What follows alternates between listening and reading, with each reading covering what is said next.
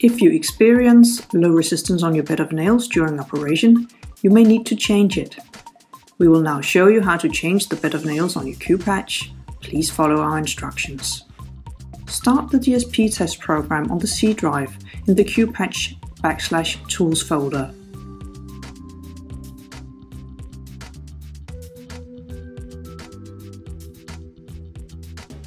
Choose Environment Board panel in the Environment Board drop-down menu.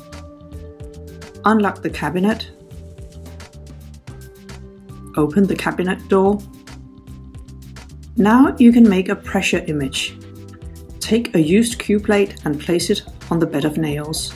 Place a sheet of parafilm on top of the Q-plate, making sure it covers both the Q-plate and the steel pipes on both the top and bottom of the bed of nails. Now place the manifold on top like this. Make sure that the Q-plate and manifold fits on the pins. Now close the cabinet door and click Lock Cabinet. Activate the chip lock by clicking the button. Make sure that the yellow light is turned on. Wait 5 seconds, then unlock the chip and cabinet. Remove the manifold and peel off the parafilm. Inspect the parafilm, making sure that the imprint of the steel pipes and the Q-plate are fairly even. Switch off the QPatch. Now take the clean bed of nails from your spare parts case. Please remember to wear lab gloves. Unscrew the four countersunk screws. Use a size 2 Pozidriv screwdriver. With a 2mm Allen key, tighten the Allen screws clockwise a little at the time to gradually lift the bed of nails. Remove the gasket and gently lift the bed of nails vertically, making sure all pins and pipes do not stick to the bed of nails. Put the bed of nails aside and make sure that all pipes are in place.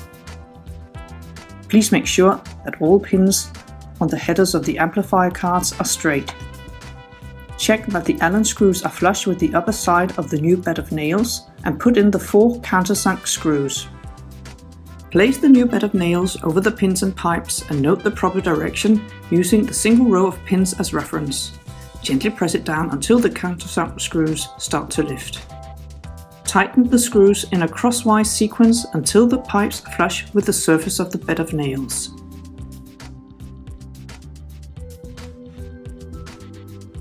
Now place the gasket into the proper position.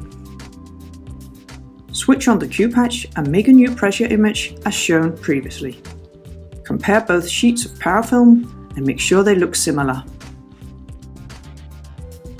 Please perform a DSP test by choosing Test Open Amplifiers in the Amplifiers drop-down menu. A pop-up window will show Amplifier Test Passed.